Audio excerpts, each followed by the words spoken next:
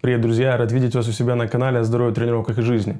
Предлагаю сегодня немножко отойти от сложных научных тем по здоровью и окунуться в довольно важную тему, а это тема питания. Я хочу рассказать вам о тех продуктах питания, которые я использую ежедневно, которые я использую в течение месяцев, годов своей жизни. Это мой реальный рацион, я покажу реально свои продукты.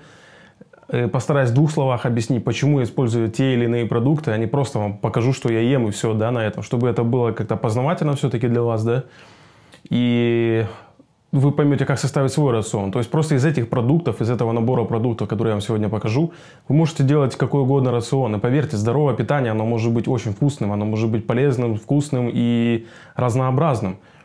И самое, самое главное, возможно, и не главное для вас, да, это может быть довольно доступно все. Это не дорогая какая-то пища, это вполне себе обычная еда. Я покажу практически все, что я использую в своем рационе.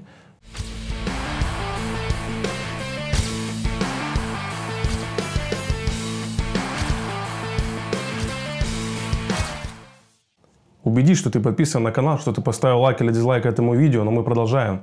Игорь, спасибо за предложенную тему видео. Ты просил комментарии, чтобы я показал обзор своих продуктов питания. Я думаю, эта тема будет многим интересным, не только Игорю, но вообще спасибо, что в комментариях пишете какие-то предложения, идеи по поводу развития канала, по поводу каких-то новых тем. Спасибо, ребята. Это наше сообщество, оно развивается. Я очень рад этому. Давайте начнем с заморозки, потому что заморозка может разморозиться, и моим продуктам приснится конец, поэтому именно с них мы и начнем. Смотрите, здесь основное количество, что я примерно покупаю продуктов. Да? Ну, примерно это так и выглядит. Я здесь не выкладывал прям, прям все, но я расскажу примерно, в каких количествах я вообще беру еду. Да? Э, в целом, я покупаю еду через интернет-магазин, то есть я экономлю кучу времени на том, что я не хожу в магазин сам, не выбираю эти продукты. Через интернет все заказываю, мне приезжает доставка и привозят мне продукты.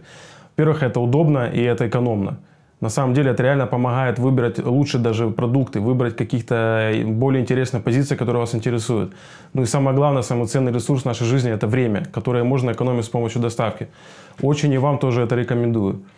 Теперь смотрите, давайте пробежимся по мясу. Здесь у меня мясо, вот в таком виде я покупаю э, мясо индюка.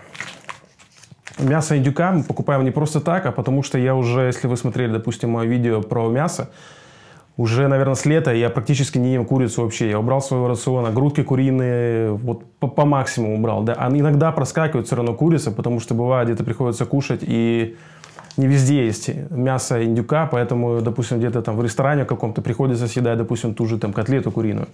Я покупаю мясо индюка, вот 2 килограмма, допустим, э, взяли. Примерно мы скупаемся на 2 недели продуктов – Индюк, он не любит питаться чем-то плохим, как курица, например. Его сложно запихнуть в него антибиотики, и это в целом более диетическое мясо считается. Оно легко усваивается, индюк очень ценный и питательный, и в нем действительно нет антибиотиков. Но, по крайней мере, в этом даже еще специальная компания занимается, то есть они следят за тем, чтобы не было антибиотиков в курице, э, в индюке.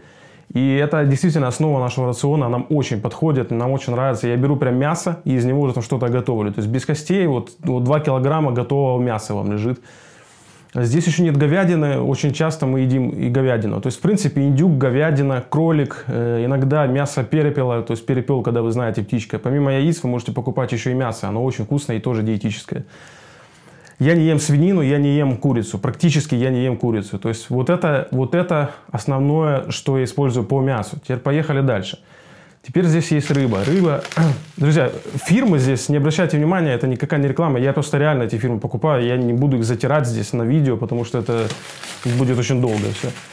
Э, я покупаю вот такую замороженные тушки. Это хек. Очень, очень нравится мне эта рыба. Она очень полезная. И она очень приносит действительно пользу вашему организму. Помимо хека, я еще выбираю такую рыбу, как ментай.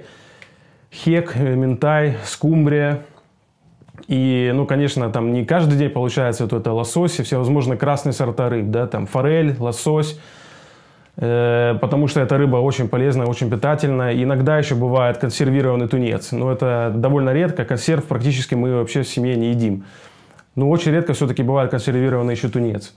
Теперь смотрите, друзья, очень классная, полезная вот рекомендация вам будет, как мы делаем в последнее время. Мы покупаем замороженные овощи. Это очень удобно для готовки. Вы можете использовать с любыми кашами, с, любыми, с любой едой. Вы можете всегда сделать себе вкусные овощи, быстро разморозить их, достать.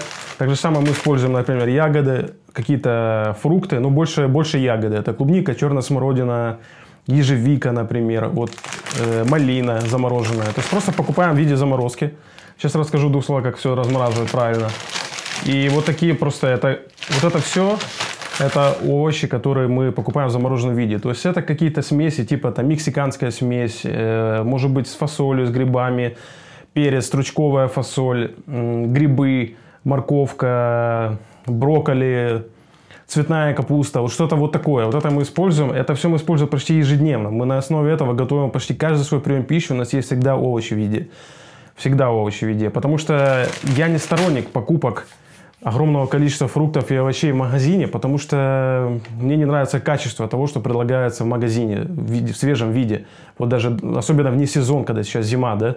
Потому что эти, эти овощи часто очень в ужасном состоянии. Я знаю, в каких ваших странах, но у нас просто там какой-то полугниющая какая-то субстанция, которая продается в этих супермаркетах. Я не знаю, как это вообще продается. Ребята, такого нету в Европе. Сколько я увидел вообще, поездил по миру, там всегда очень красивые овощи и фрукты на полках. У нас же почему-то в наших странах это что-то страшное.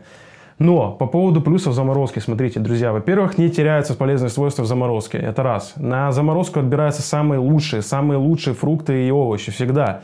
Потому что если оно будет по-другому, оно просто у них не получится продавать вообще их продукцию. Э, Все сохраняется. Если вы правильно размораживаете, не очень резко размораживайте. То есть достали заморозку и постепенно пусть оно оттает. Не делайте это, как написано там, что вы бросаете сразу же в печку. Такое вот прям пишут на этих упаковках. Если вы покупаете овощи, не бросайте сковородку. Сначала постепенно их разморозьте, можете воду, например, замочить их, и пусть оно оттает постепенно. Только потом используйте в своей готовке, в своей еде. Так же самое это касается всевозможных ягод или фрукт.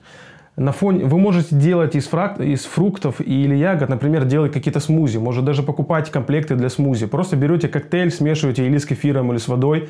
И это будет очень полезно, очень удобно и очень быстро. Просто взбили такую себе емкость, там пол-литра, например, да, ягод. Вы столько фруктов и не сидите. Я, честно, я столько смородины летом не ел, как я сейчас ем вот зимой с помощью такой заморозки. Очень круто, если у вас есть какой-то холодильник огромный, да, такой большой, который ставится, например, там где-то на балконе, и вы можете сами это все заготовить себе на зиму. Это очень круто, это идеально. Ну, у нас, допустим, в квартире нет такого места, да, мы живем в Киеве, и места довольно мало в квартире вообще, в принципе. Видите, кухня маленькая. И поэтому мы покупаем. И это очень удобно. Замешали такие смузи, вы получаете все, что нужно организму с помощью вот такой заморозки теряется, э, по некоторым данным, я считал, до 25% это максимум, что может потеряться в процессе заморозки. Еще один аргумент в пользу заморозки. Когда фрукты и овощи, они э, при очень низких температурах замораживаются, любые глисты, любые какие-то бактерии непонятные, там, что вы там можете получить летом, это все исключено. Потому что при таких низких температурах там ничего этого не сохранится. Никакие глисты, которые могли бы быть на овощах, которые вы, например, купили в магазине сейчас, на них все это может находиться. Они находятся прямо в земле, которая, например, вот на этих этих овощах есть земля, и в этой земле легко могут быть глисты. Посмотрите мое видео про глисты, и вы поймете, о чем я говорю. Теперь, друзья, давайте пробежимся по молочке. Да? Смотрите, яйца, куриные яйца. В моем рационе действительно много куриных яиц. Я покупаю их примерно по 50 штук, где-то, наверное, в нашем чеке, нашей покупки. То есть это хватает, не знаю сколько, ну, может, на, э, не, не знаю сколько, не буду считать. Но в день всегда где-то по 3 от 3 до 5 яиц в день я съедаю ежедневно, только вареные яйца. Варю я примерно вот так это выглядит, это уже все вареные яйца. Варю я сразу по 10-20 штук за раз. Варю минимум 10 минут яйца в любом случае. 8-10 минут. 8 минут, если вот такие небольшие, да, и 10 минут, если чуть-чуть побольше. Чтобы избежать всевозможных э, побочек с яйцами. Посмотрите мое видео, я все, там это все подробно объяснил. Сыра я много не ем. Э, мы с женой по минимуму едим сыра, потому что я не считаю, что сыр это очень полезная штука. И, в принципе, не так уж сильно я его люблю, на самом деле, сыр. Ну вот мы покупаем фету, да, мы берем где-то по килограмму за раз. Э, вот такой сыр очень вкусный. Всевозможные другие сыры, также любые другие сыры мы тоже покупаем, но едим этого очень-очень в меру. Не часто мы едим сыры, потому что сыры, во-первых, вы должны знать, что сыры еще очень сильно повышают кислотность вашего организма. Но если вы прям очень сильно любите сыры, допустим, там постоянно вы хотите каждый день его есть, просто ешьте его понемногу, пожалуйста. Ешьте сыра как можно меньше. Э, молоко я стараюсь покупать такое, которое хранится как можно меньше, допустим, там 5-7 дней, да. Это ультрапастеризованное, это просто мы так взяли сейчас, да, хорошая была цена, мы сразу, я взял сразу литров 5 или 6, что-то такое, это такого молока. Но вообще стараемся брать то, которое хранится недолго. И на молоке очень важно, считайте, на молоке должно быть написано всегда молоко, молоко коровичье. Э, молоко коровье и все, больше ничего, не нормализовано, не восстановлено, просто молоко коровье. Ищите, чтобы в молоке было именно так написано в составе, потому что это самый лучший вариант. Не нормализовано, не восстановленное. По поводу молочки. Э, кефир бывает, йогурты бывает, но это очень редко мы такое покупаем. Э, если есть возможность, мы стараемся даже делать сами. Я покупаю закваски бактериальные, мы сами делаем кефир. Но на самом деле это очень редко. Я больше предпочитаю использовать отдельно бактерии, покупать лактобактерии, бифидобактерии. Об этом я записал тоже отдельное видео. Посмотрите у меня на канале, почему я так делаю. Теперь, друзья, сладкое. Да, конечно, мы как все едим сладкое, но на самом деле я не очень люблю сладкое. Я прям вот, просто не люблю его. Я торты практически, ну, практически никакие не ем. Просто мне, для меня это слишком все сладкое. Я давно привык к тому, что у меня мало сладкого в рационе. Я практически ничего не ем, но все-таки иногда люблю такие штуки, как, например, обычный шоколад. Стараюсь покупать хороший шоколад, да, этот, э, не скажу, что этот хороший, неважно какой это, но старайтесь брать хороший, не самый дешевый, чтобы какао было минимум там 56% какао, а лучше даже 90%. Чем больше какао, тем лучше, потому что тогда там будет меньше сахара. Да, оно будет горчить, но там будет больше пользы. На самом деле, ученые считают, что чуть ли не единственная полезная сладость во всем мире – это обычный шоколад, черный шоколад. Также, вот что я любитель, я люблю очень зефирки. Я очень люблю зефир, и если мне надо резко повысить уровень инсулина в крови, допустим, после какой-то пищи, да, сложной, я съедаю одну зефирку, повышается, происходит скачок инсулина, и эта вся пища моментально усваивается. Так делать часто нельзя, и не злоупотребляйте этим. Зефирка считается тоже довольно полезным продуктом, и если она нормально сделана, там на самом деле ничего плохого в нем вообще нет. В моем рационе постоянно присутствуют ламинарии. Ламинарии – это вот простая капуста да, морская, которая вот по-корейски она делается. Там, смотрите, Покупайте, чтобы было поменьше там каких-то непонятных специй в составе, никакого глутамата натрия, чтобы просто была капуста морская. Чем проще, тем лучше. Я очень рекомендую вам ее использовать, потому что в ней содержится очень много йода. Так же самое, как и в рыбе, да? И это очень важно, чтобы была здоровая ваша щитовидная железа, чтобы вы, ваш гормональный фон был в порядке. В рационе у нас очень мало йода, если вы не используете такого. Поэтому покупайте вот такую капусту. Но я просто ее люблю, я просто добавляю ее очень часто. Ну, она практически всегда у нас есть в рационе. Также я постоянно добавляю изюм, э, например, в овсянку, добавляю даже в гречку ее, когда утром, допустим, завтракаю, да, обычный изюм.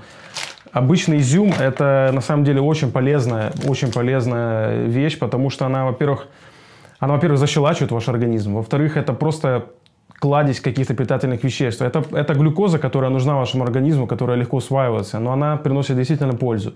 Постарайтесь изюм вообще, чтобы был постоянно в вашем рационе. Если можно, то вообще каждый день. В каждую овсянку, в каждую там кашу делайте там немножко сахара, и это будет очень вкусно и полезно. Теперь, друзья, давайте перейдем к самой тяжелой артиллерии, которая, которая есть вообще, и которая составляет действительно основу моего рациона. И практически здесь все есть. Что-то, если нету, я сейчас обо всем расскажу. Обычная фасоль, белая фасоль, она, она творит чудеса со здоровьем. Это действительно, она... Во-первых, здесь белка практически около 20 грамм на 100 грамм, то есть оно как в мясе. Да, усваивается тяжеловато, но если вы будете правильно, нормально его варить, то все будет хорошо и усваиваться будет хорошо. Приучите свой организм постепенно к фасоли. Это, это, этот продукт делает вас действительно здоровым. Постарайтесь, чтобы в вашем рационе постоянно была фасоль. Покупайте ее в заморозке, как я сказал, там тоже бывает фасоль. Это очень, очень хорошая, полезная вещь. Друзья, будем двигаться быстро, потому что продуктов много, а я хочу по чуть-чуть обо всем рассказать вам. Крупы. Конечно же, греча. Греча – это действительно основа моего рациона. Греча и рис не шлифованный. Потому что это сложные углеводы, конечно, вы понимаете, да? Я, я здесь вам показываю практически все это будут сложные углеводы. Все, все мои крупы, которые я покупаю, это все сложные углеводы. Но иногда я все-таки использую простые углеводы. Сейчас объясню почему. То есть обычная гречка, я не буду объяснять, с чем она полезна. Но ее я ем почти каждый день. Я ее использую в виде хлопьев. Я сейчас не достал ее. У меня есть еще гречка в хлопьях. Каждое утро я начинаю с гречки хлопьев, там пару яиц и гречка хлопьев я побежал на работу. Теперь смотрите, овсянка. Овсянка, э, очень полезный продукт. Это сложный углевод. Мы покупаем цельнозерновую овсянку из цельного зерна. Стараемся брать немецкую, да, э, потому что нам нравится, как они делают немцы. В чем, в чем смысл? Есть просто овсянка, которая делается слишком сильно, во-первых, шлифуется, и в ней не сохраняется вот этой шелухи. Смотрите, цельное зерно, вот в любая крупа, основы знания вам просто сейчас даю, любая крупа, она должна быть в шелухе. Она не должна быть э, полностью снята вот эта шелуха. Если снята полностью шелуха, например, с пшеницы, да, ее потом измельчить, получается обычная мука высшего сорта. Она беленькая, она белоснежная. Вот такого в вашем рационе вообще не должно быть. Старайтесь, чтобы в вашем рационе было все темного цвета. То есть, если это, допустим, хлеб, то это темный хлеб. Если это крупа, то это темная крупа какая-нибудь. Если это рис, то это не шлифованный рис, который сохранил себе эту клетчатку. Клетчатка – это сложный углевод, который находится сверху на рисе. Вот это, вот это все должно сохраниться. Так же самое овсянка. Есть, которые сняли все по максимуму и просто взяли и вам дали беленькую, такую чистенькую хлопья, овсянку. Это наименее полезный продукт, лучше такого вообще не ешьте, потому что овсянка такая практически особо пользы вам вообще не несет. Она слипается, она сложно переваривается организмом. Берите цельнозерновую овсянку, это очень важно, друзья. Смотрите, друзья, я практически не ем пшеницу вот в виде круп. Вот, и я вам очень рекомендую, исключите по максимуму пшеницу в виде круп. Понятно, что она у вас останется в хлебе, да, в любом случае будете есть пшеницу, но не ешьте каши пшеничные. Я очень их не рекомендую, потому что, ну, если в двух словах, э, когда сама, сама пшеница растет, на ней сама пшеница выделяет яд, который должен отпугивать насекомых. Эта информация э, взята из, из многих проверенных источников. Это немецкие ученые это проверяли. Есть вообще книга написана на эту тему. Я прочитал эту книгу и после этого вообще перестал есть всю пшеницу. Она может вызывать у вас, как, во-первых, какие-то воспалительные процессы в организме, так и просто какие-то аллергические реакции. Чем меньше, тем лучше пшеницы. Пшенная каша, пшеничная каша. Оставьте это все собачкам, не ешьте это, пожалуйста. Я сам так много раньше питался, много пшеничной крупы ел. Она дешевая, да, но я вам рекомендую избавитесь от этого. Вообще, чтобы в вашем доме практически не было никакой пшеничной каши, если вы такой любите. Это пшеница. Но это, друзья, булгур. Это, я не знаю, но некоторые называют его вообще рисом, да, за рубежом, допустим, греки, по-моему. И вот такой булгур, он довольно сложно усваивается организмом, ну, он идет как сложный углевод. И вот такое можете использовать. Но у нас это довольно редко все-таки тоже бывает. Но такую, вот в таком виде мы только пшеницу берем. В другом мы не используем вообще. Поехали дальше. Смотрите, это те пшеничные хлопья. Ой, это гречаные хлопья, то, что я вам говорил. То есть вот с этого я начинаю утро. Гречаные хлопья, ребята, можно есть хоть каждый день. Э, там или вообще нет глютена, или очень мало глютена. По-моему, его там вообще нет глютена в гречке. А в овсянке, например, есть глютен, да, я забыл сказать вам. Друзья, овсянку я ем где-то 2-3 раза в неделю. Э, иногда 4 раза, ну когда, когда как, да. Я могу делать, измельчать ее, делать из нее себе даже коктейли, но, но не на ежедневной основе. Каждый день я овсянку не ем из-за того, что в ней много глютена. И реально у вас может начаться аллергия на эту овсянку. И это понятно, потому что глютен очень многими не усваивается людьми. Есть мнение ученых, что глютен, который находится, вот, допустим, да, в мучном, вот в овсянке очень много, что глютен, в принципе, организм не может усвоить любой, да, но об этом почему-то часто не говорят, что говорят, что глютен не усваивают 5% людей, а есть такая информация, что его не усваивает почти никто. То, что я находил информацию, это, опять же, немецких ученых, когда я изучал, как работает наш кишечник. Ну, вот смотрите сами, можете поразбираться в этом вопросе. Друзья, не шлифованный рис, да, э, очень вкусное, мне очень нравится. Я расскажу в двух словах, как я все готовлю, чтобы это было все максимально полезным. Очень вкусный, мне, я прям обожаю просто его. Действительно, если его правильно приготовить, это очень вкусно. Попробуйте, просто не шлифованный рис. То есть в нем, в нем сохранена э, корочка, да, как я сказал, сверху на этом рисе. Теперь смотрите, это могут быть хлопья. Просто обычные вот кукурузные хлопья, например. Это могут быть э, гороховые хлопья. Это все ну, такого не должно быть много у вас хлопьев, потому что это уже будут простые углеводы. Это кукурузные хлопья, если они максимально измельченные, это уже простой углевод. В принципе, если взять Э, чем больше вы измельчаете любую еду, она становится проще и проще усваивается организмом. Даже если взять, допустим, гречку, перемолоть ее в муку, э, и она, она станет более простым углеводом, но из-за того, что в ней сохранится шелуха, это все равно будет полезно. Поэтому, если, допустим, вы едите хлеб, например, там, с гречаной мукой или с овсяной мукой, это может быть полезный хлеб. Теперь, друзья, я хочу вам рассказать о том, как я э, готовлю продукты. Просто я сейчас не буду показывать, у меня сейчас не совсем та кухня, чтобы вообще снимать какие-то там, как я готовлю. Э, смотрите, как я, как я готовлю, сам принцип, что я стараюсь сделать. Я стараюсь варить как можно меньше любую крупу. Это, можно назвать это ленивая готовка. Это, во-первых, удобно. Во-вторых, это сохраняет максимально, как можно больше питательных веществ, которые вы получаете в пище.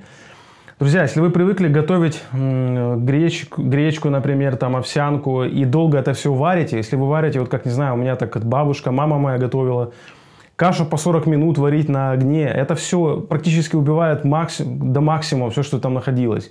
Все витамины, минеральные вещества, это все, эти нутриенты, которые в ней содержатся, они, их очень много. Там аминокислоты, там полный аминокислотный состав вот в этом всем. Э, и чтобы это все сохранить, варите как можно меньше. Смотрите, какая идея, как делаю я. Любую крупу, любую крупу, да, там, э, сначала я делаю э, какую-то основу, да, такую вкусную для, это, для этой крупы. Допустим, не знаю, допустим, вот гречка, да, допустим, я сначала готовлю грибы, я готовлю это все на луке, поджариваю, да, э, грибы, там, специи какие-то вкусные, да, все это готовлю отдельно. И у меня варится гречка всегда максимум 5 минут. 5 минут я варю ее в кипяток, я бросаю гречку в кипяток.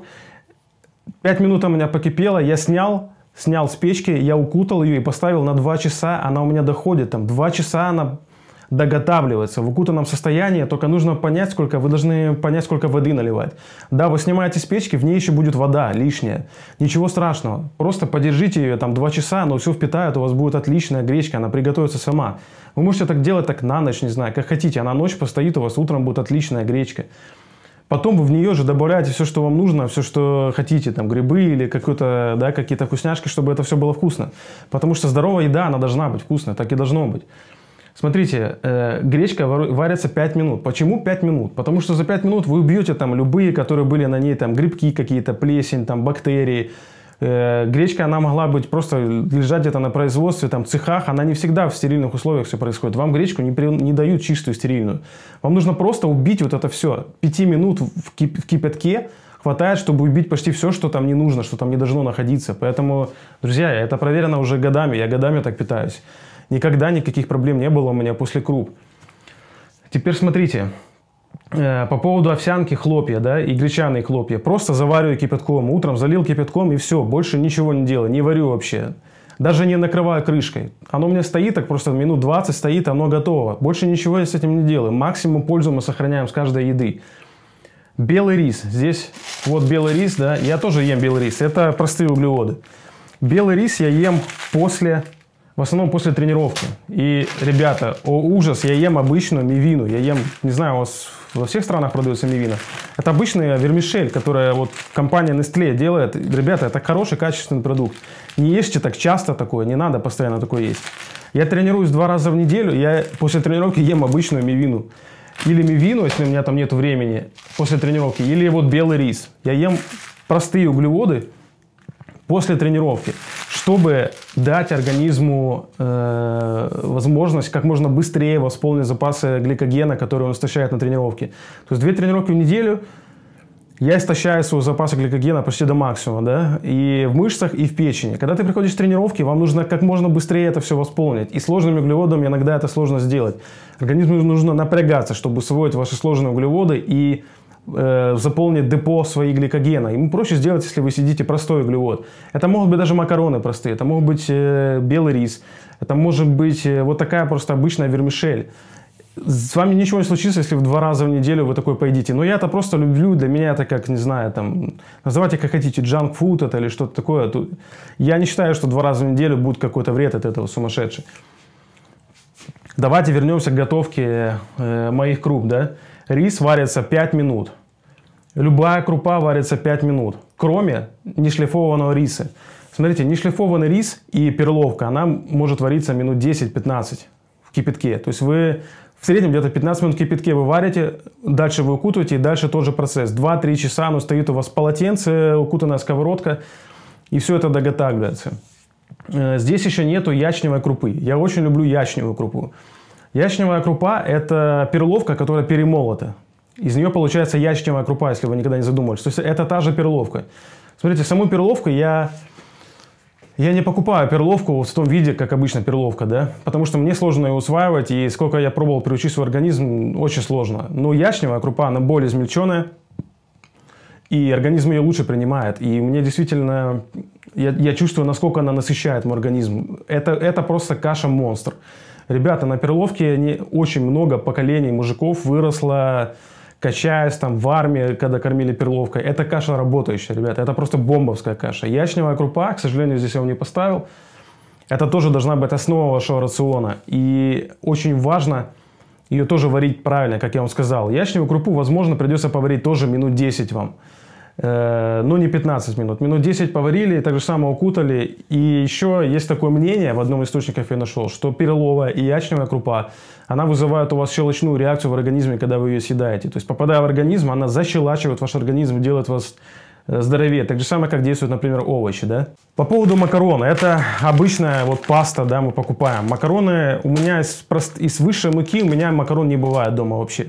То есть вот такая только вермишеля, как я вам показал, но макароны мы такие не покупаем вообще. Да, мы покупаем, они может быть подороже будут, но мы покупаем из твердых сортов пшеницы, там из муки дурум, да, еще ее называют. Покупаем вот такую пасту, там сразу же, там, не знаю, 5-6 штук купили, и она лежит, всегда удобно достать ее поесть. Друзья, если вы будете питаться такими макаронами, с вами ничего не случится, это полезная, хорошая, нормальная еда.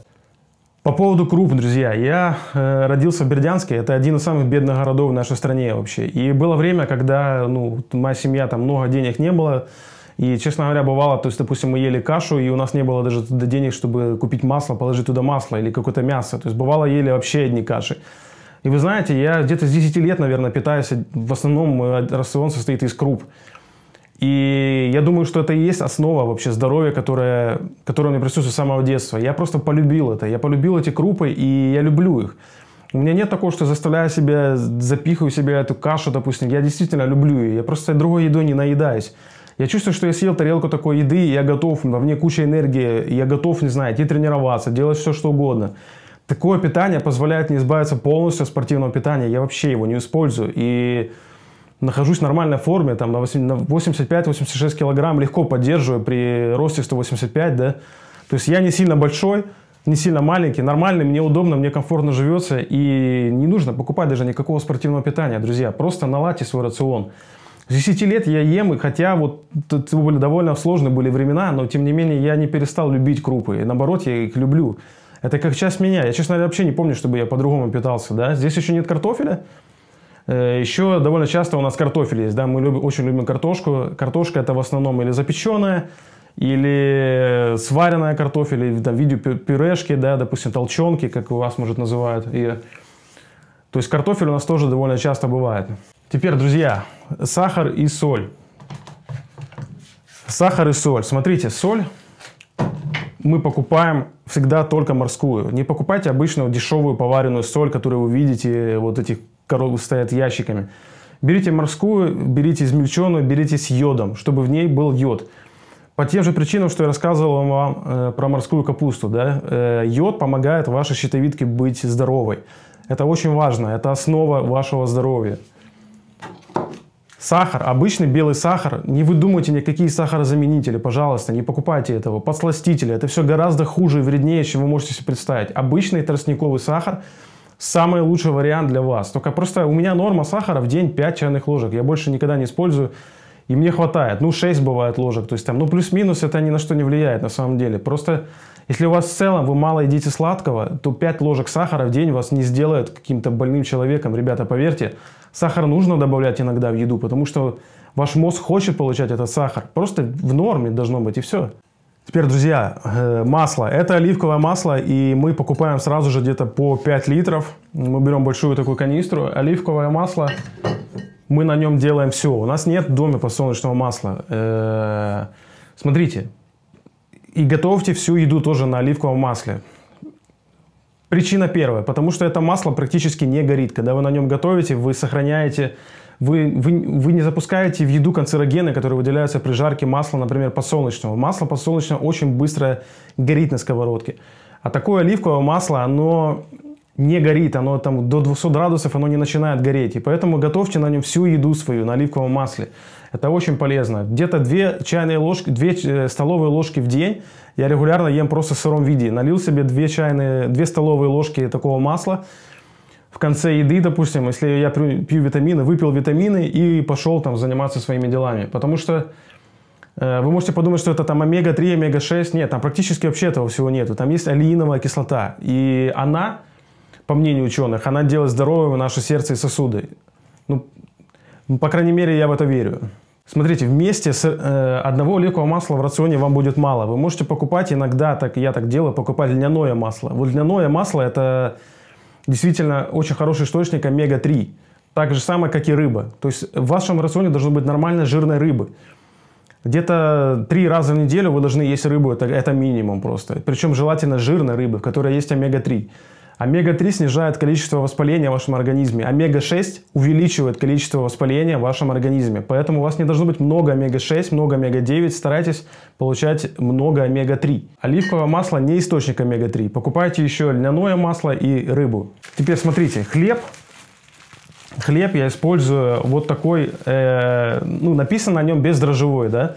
Смотрите, бездрожжевого хлеба не существует. Хлеб всегда с дрожжами. В муке уже есть дрожжи, в любой муке есть дрожжи. Однажды я просто, я, ну, я, я довольно сильно любил сделать сам хлеб, сейчас просто времени не хватает. Вообще я люблю готовить. И я сам делал хлеб. Так вот, раз я сделал эксперимент, я вырастил из обычной муки, я вырастил дрожжи. Это называется закваска. Если вы не знаете, раньше, там лет сто назад все так делали хлеб, когда не покупались эти дрожжи. Просто делали закваску.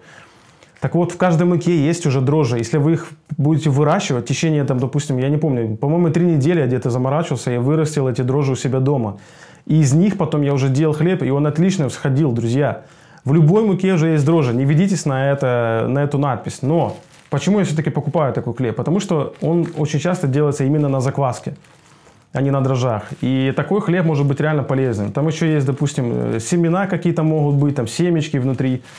То есть вот такой вот хлеб, это может быть из ржаной муки или из, из муки каких-то темных сортов. Это первый сорт, второй сорт – или же овсяная мука, там что-то такое. Никакого высшего сорта муки не надо, чтобы вообще этого не было в вашем рационе.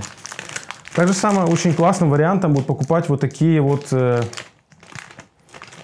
вот такие вот сухари, я не знаю, как это, хлебцы так называемые. Они тоже делаются из сложных углеводов с клетчаткой, и их очень вкусно есть. Берете, просто жуете, как вот...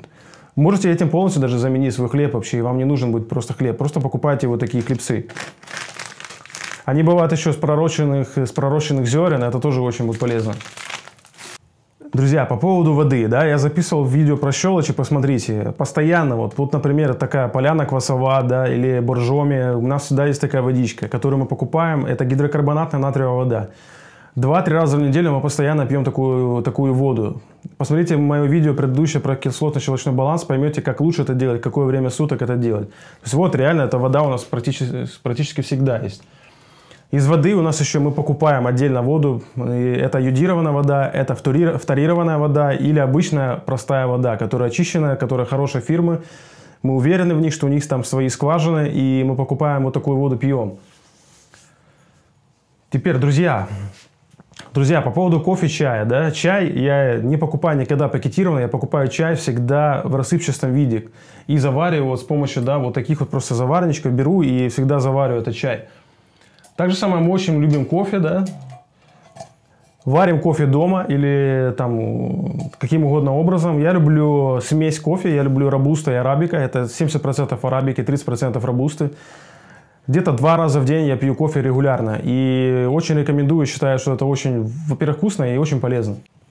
По поводу спиртного, да, вы можете подумать, что там помешано на здоровом жизни. Нет, друзья, я не такой. Я нормальный человек и все должно быть э, здоровое отношение к этому всему. Не, я, я не совсем понимаю людей, которые сейчас вот слишком модно стало, да, здоровое питание и так далее.